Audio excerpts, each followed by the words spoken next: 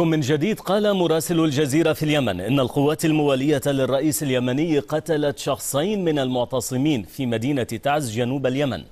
كما جرح ستة معتصمين برصاص هذه القوات. وكانت تعز قد شهدت في وقت سابق اليوم مظاهرات تطالب بسرعة تشكيل مجلس انتقالي في البلاد. وردد المتظاهرون هتافات تدعو إلى إقالة جميع أقارب الرئيس صالح من مواقعهم العسكرية.